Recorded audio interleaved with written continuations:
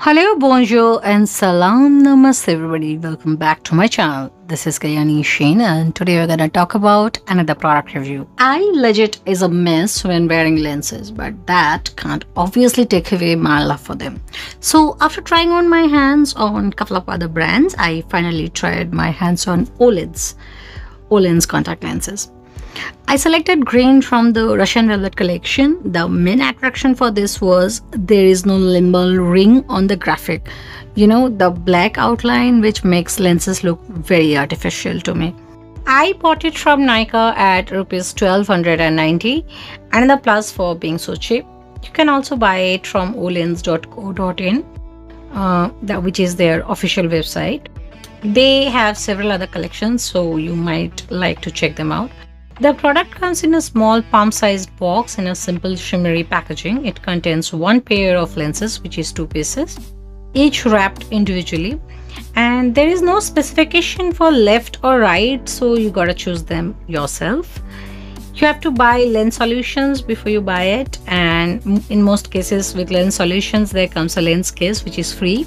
And in case you don't have it, you have to buy it separately because they do not provide any kind of cases so don't expect that. In case you're expecting to get it free with olens the colors of the lenses are exactly like the pictures given so no false hopes here. Duration of this particular collection is one month and the diameter is 14.0 mm the graphic diameter is 12.7 mm slightly smaller than the usual 13 mm there is no way you can notice it Base curve is 8.6 mm and water content is 38% and material is Hema. This is TMI, too much of information which you might not need but I would like to talk about it as it's there.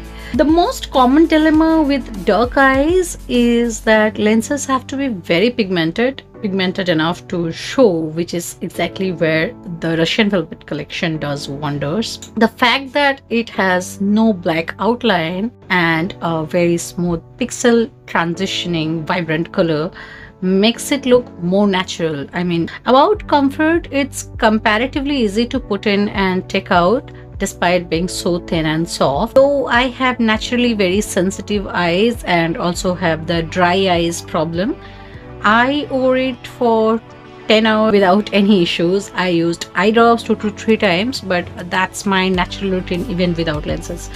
It's also beginner friendly as it's easy to put in and take out. So in case you're thinking about it, just go for it. So that is it all guys.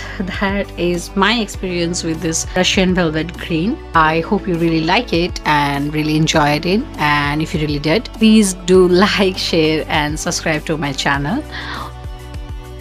Don't forget to hit the bell button to stay connected and updated every time I post. See you in my next video. Till then, love you. Bye bye. Take care and mm, stay stylish, stay happy, and stay safe.